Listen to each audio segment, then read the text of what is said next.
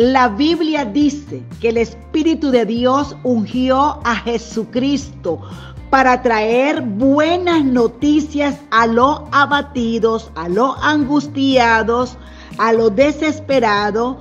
Las buenas noticias de que Jesús puede sacar a los presos de la cárcel. Buenas noticias de que Jesús puede libertar al cautivo del vicio, de la droga, de cualquier pecado. Las buenas noticias que quedaron escritas también son que Jesús puede vendar el corazón de los quebrantados, que Jesús puede consolar a los enlutados. Las buenas noticias también dicen de que Dios los viste de manto de alegría en lugar del espíritu del luto. Hay muy buenas noticias que tú las puedes tomar muy en cuenta hoy.